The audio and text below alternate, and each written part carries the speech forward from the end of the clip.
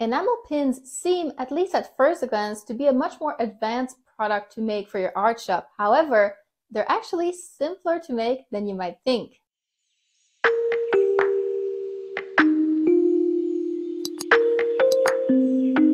Hello everyone!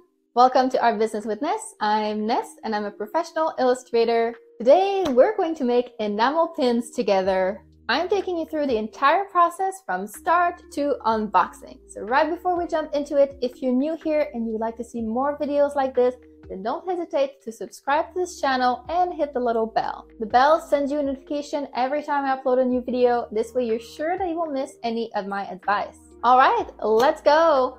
So this is actually my first time making enamel pins myself. I do have an Etsy art shop, but I sell digital products. So enamel pins really weren't in my plans for this year. But by chance, I was contacted by an enamel pin manufacturer called GSJJ to make a collaboration video with them. Now you may not know, but I actually get a lot of inquiries for sponsor content or collaborations and things like that but I actually refuse most of them. I'm really strict about what I actually choose to take on, and for me, it really has to be something that you would want to hear about. If it's not helpful for you, then I simply refuse. But when I received the email from GSJJ asking me if I would like some free pins in exchange for making a collaboration video with them, I was like, huh. I know that a lot of you have art shops or want to open art shops and a lot of you are interested in enamel pins. But when it comes to enamel pins, finding a good manufacturer is the hardest part. So I thought,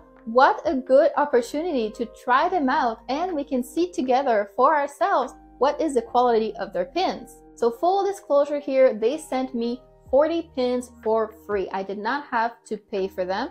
And in exchange, I'm making this video talking about it. But we're going to see together exactly what the process and the quality is like. There's no hiding it. I created two designs and they made 20 pins of each, which they sent me in the mail for free, which is great, but I can't really sell them in my shop anyway. So I had an idea for what to do with the pins. I decided to design pins around the theme of cats with the idea that I can donate them to my local animal shelter so that they can do some fundraising with them. There's 40 pins, so selling them at about $20 each mean that they can get about $800 in fundraising for the shelter. Yay!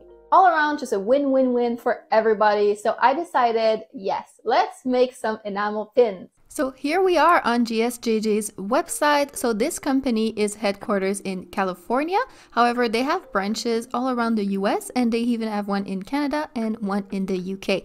The actual pins are manufactured in China and they ship for free to multiple countries. So yay, free shipping.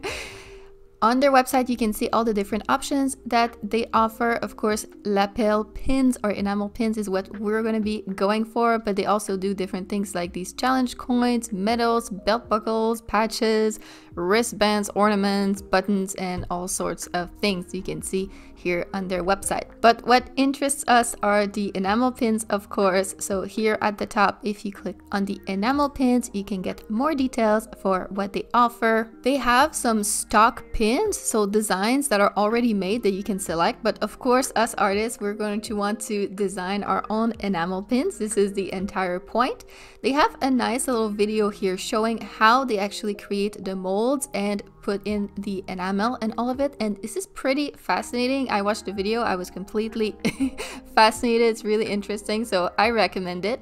And then you have more information about what they offer. So mainly they have soft enamel and hard enamel. The difference between them the hard enamel is more durable and it looks like it's a higher quality. Is all polished.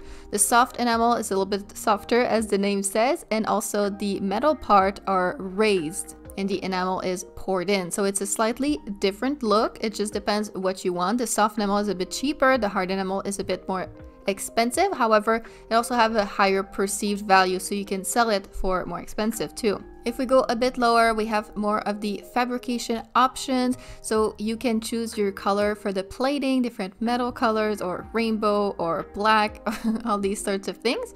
You also have pin attachments. So, you know, you have these little brass clutch or rubber or all different things like keychain or magnet and all these things, cufflinks even. So you can choose the attachment and also the packaging. So standard, it comes in this little plastic bag, but you can also do the velvet pouch or a little box or even backing cards, which is really interesting because most pins on Etsy or all around different art shops are sold with a paper backing card, which usually we have to have printed separately.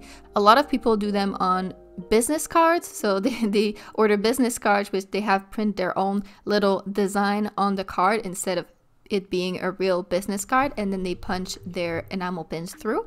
But here you can actually order the cards through the manufacturer so it's already done. So that would be great. If you want to sell your pins with a backing card like that you can have it all made at the same time you also have more upgrade options that they offer glitter, glow in the dark, transparent, translucent, pearlescent, and embedded rhinestones. If you want to get fancy, they have these uh, additional options. Of course, it costs a bit more, but you can create some really fancy pins.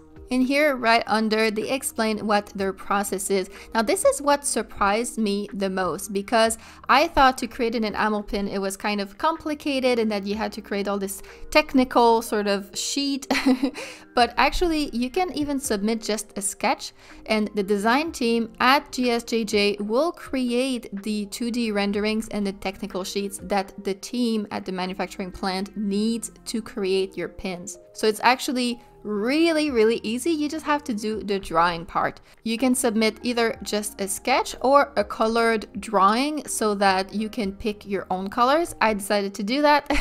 the more detailed and finished you make your drawing that you submit, then the closer it will look to that when the pin is finished. You can even pick the exact color codes, which I'm going to show you a little bit later. And here at the bottom, they have some more options for you to check out. They have options for like cutouts and sandblast. I'm not sure what all of these things are, but you can look around if you're interested. So let me go and show you where you can see all the color codes if you want to pick your colors. So you can go right at the bottom and go to the FAQ and help and right here at the top, you have a size chart and you have a color chart. So click on color chart and they will give you color codes that you can use. Now, here are the popular colors. It's great that they give you which ones people often like. But then beneath that, you have all the color codes and there are so so many of them so you can go through all of that and pick the exact color that you want and give them the codes and yeah, below the Pantones, they have even more different codes, so you can pick your exact colors if you want. But you don't have to. You can leave it up to the team to choose colors as well if you prefer. Now let's go back and start an order to show you what it would be like. So uh, let's see, we have to Yes, we have to get the orange button, which is at different places on the page. You can see this orange button. So you click and you can start your quote and design of your pin. You have multiple different decisions to make here. So first of all, step one, if you want a hard enamel pin or a soft enamel pin. So the hard enamel has three little dollar signs. It's a little bit more expensive, but it's also more of a jewelry, high perceived quality look. So let's pick hard enamel. This is what I picked for my pins. Next, you have the size. So you can choose the size that you want. I think both of mine were 1.5 inch, but you can make smaller for a cute little dainty pin or bigger if you like. Now your finish, shiny gold, silver, black nickel. I picked gold personally, but pick whatever you prefer. Now the number of colors. So of course enamel pins are fairly simple in designs and the more colors you have, the more expensive it is. You can have four colors or less for free. So if you're able to make your design with just four colors, this is of course the economical option. But if you need more colors, then you can have more colors, but it's a little bit more expensive. In my case, I only needed four colors. I made the design so that they would be more simple. This is something to keep in mind when you create your design to kind of limit yourself on the number of colors as well. Otherwise, it's going to be a lot more expensive. So four colors. Then you get to pick if you want glitter. So you can have one glitter, two glitter, three glitter, as many as you like. Well, uh, I don't want any glitter, so I'm just gonna do without. So next we have to choose the attachment. So for free standard, you have either the military clutch, which is metal, or the rubber clutch. If you need two clutches because your pin is bigger, then it's a little bit extra. And then you have other options, the magnet backing, the deluxe clutch, safety pin, cufflink, etc.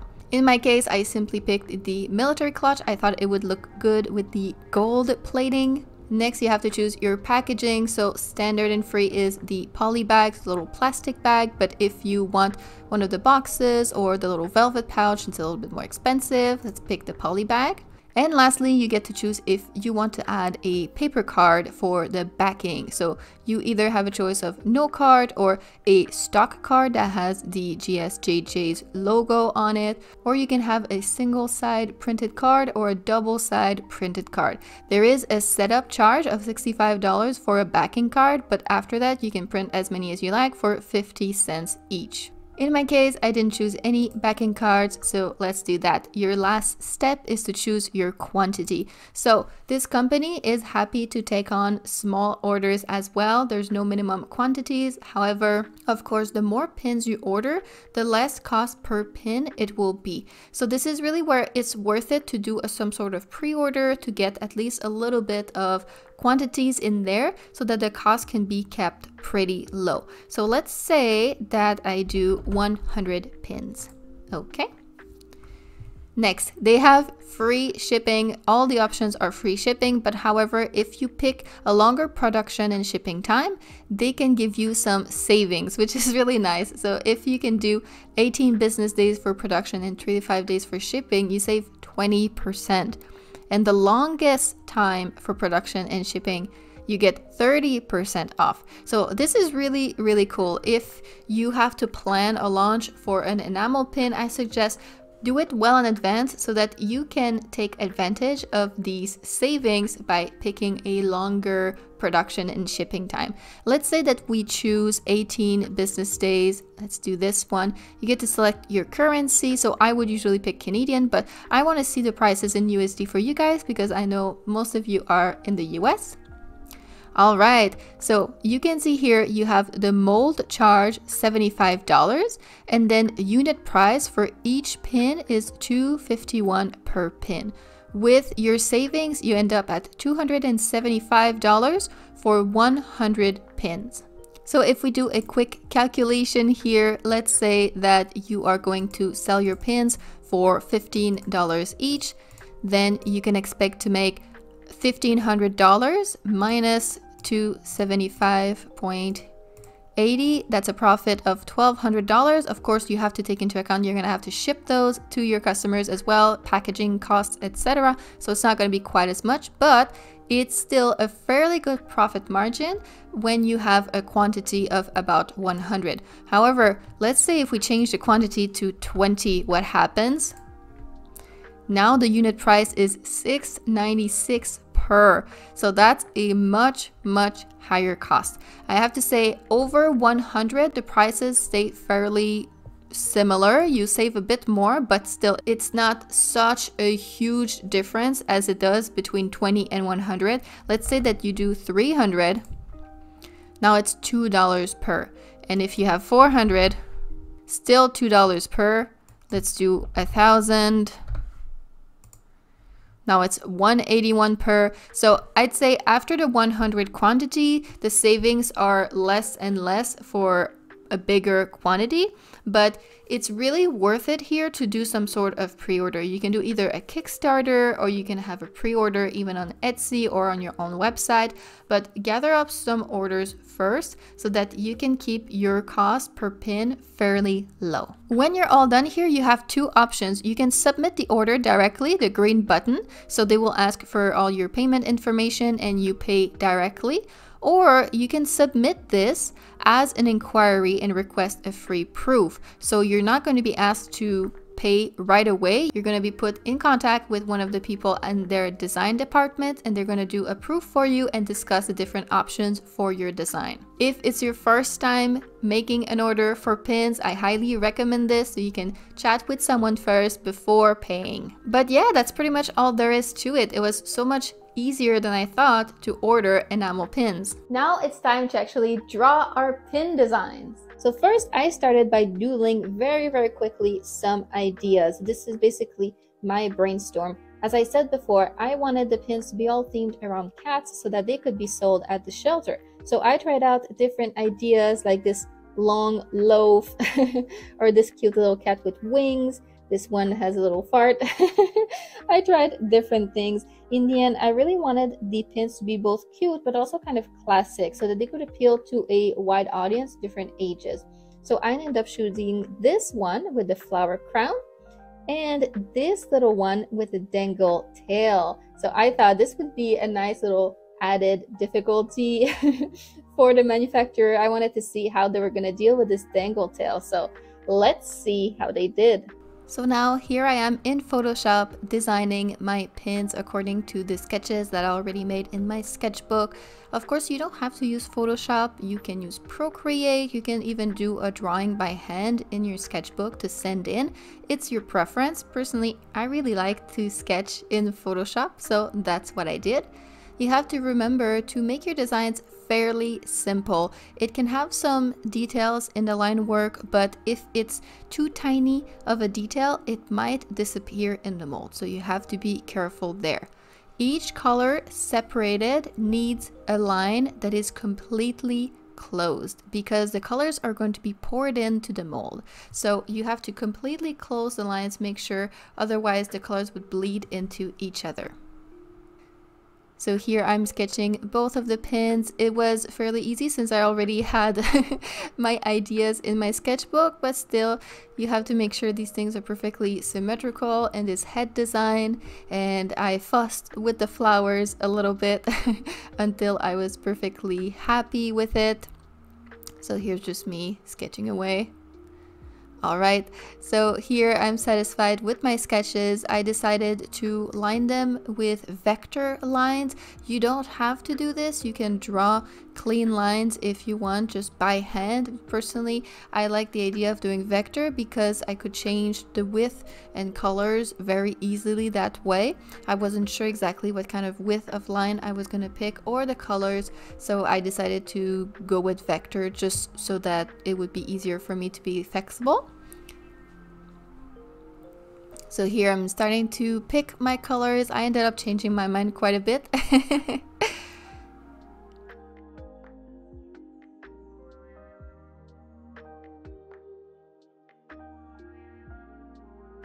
you don't have to make your drawing that you send in quite so exact but of course the more exact you make it then the more similar it's going to be to what you send in. If you send in a sketch they're going to have to adapt on their end and you're not sure if they're going to perfectly read in your mind what you meant to do. So that's why I decided to do a very clean drawing and I suggest that you do the same but it's up to you So here I'm starting on this second pin now. For this one, I used the guides in Photoshop just to make sure that it was going to be as symmetrical as possible. When you pick your colors for the design, you can use the Pantone codes from the website that I showed you earlier, or you can just pick colors as you like from Photoshop or Procreate or whichever software that you're using and the design team at GSJJ could then pick the color codes that match the closest. I decided to temp fade a little bit and go with that. I wanted to see how well are going to match the color if I don't give them codes. So I leave them all to them and we shall see soon how they did.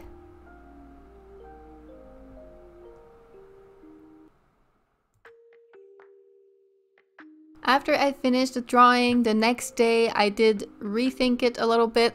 I tweaked the colors a bit and I ended up choosing white for this pin and black for this pin. I tweaked the pinks a little bit and presented it like this more professionally so I can send it over to GSJJ. And that was my final design. So I sent this in to GSJJ and I was paired with product coordinator named Joyce and here's what she sent me. So this is the first proof that she sent me.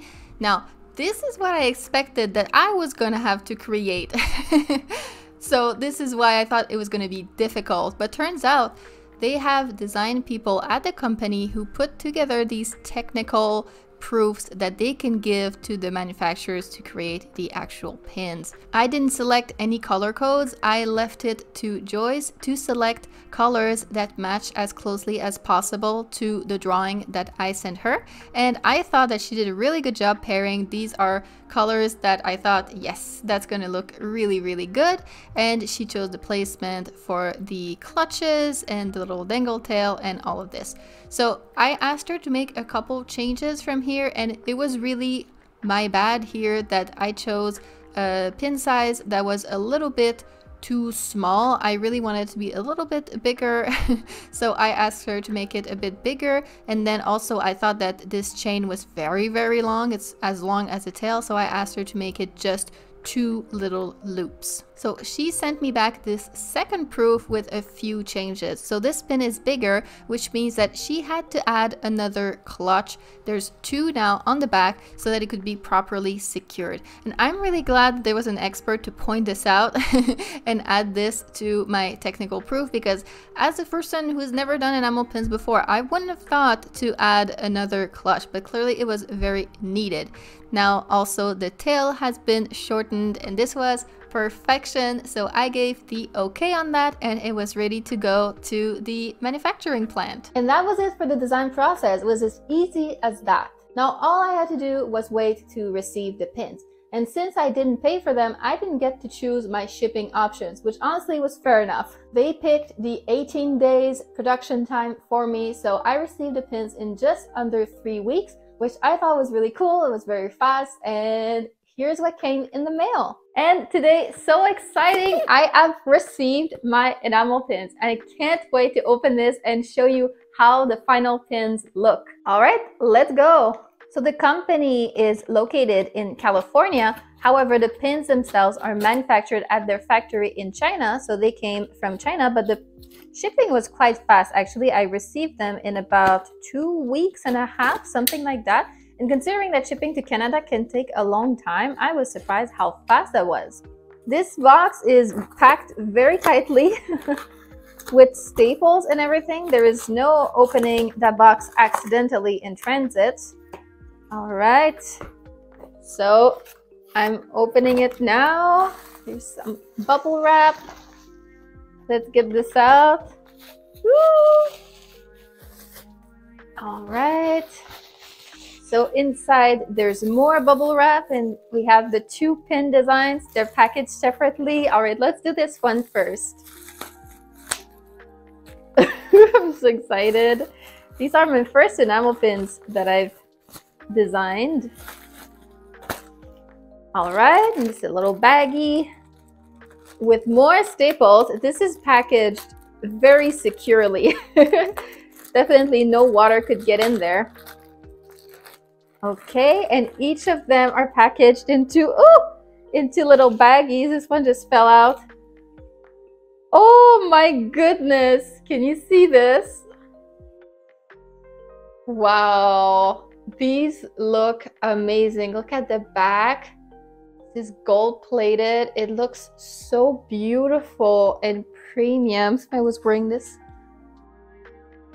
on my lapel.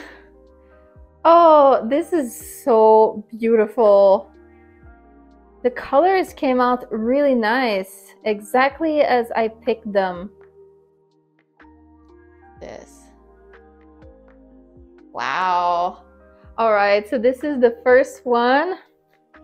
So excited. All right, let's see a few ones because I know that with enamel pins, it's possible that some of them are a little bit different from one another. So let's check like six or seven of them and see if we can find any that have defects or something. This is very important to check when you get enamel pins. All right, this is good. Perfect. Perfect. I don't see any defects on any of these. They all look perfect and beautiful. Look at that. So beautiful. All right, I can't wait any longer. Let's get the other one. all right, I'm just putting all of this on the side here. Let me put this one back in a little baggie. It's all protected. I have 20 of each. So there's quite a few of them. All right, get this other one. Let's get these. Come on now.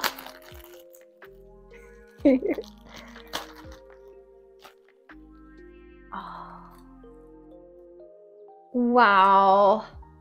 This looks really great also. Hmm.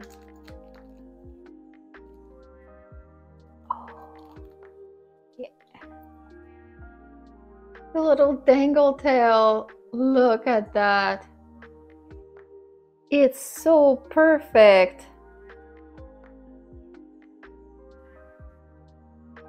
Ah, I'm, I'm, I'm trying to find a good way to like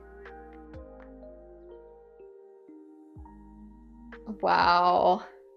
These ones are a little bigger, so they come with two at the back to like properly secure it on you.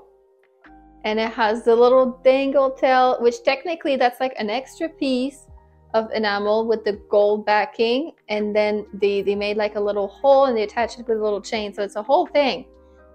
Wow. The colors also look great on this. I don't see a blemish on that thing. It's perfect. Let's pick some more and see if they're all the same. They're all gorgeous. Wow. I'm surprised how these are like all exactly the same. Like I know they come from a mold, but I heard that enamel pin can have little variations between them, but these all look copy paste. They all look exactly like my design. There's there's no variation. This is really good. wow. Okay. I'm just saying wow and wow all over again.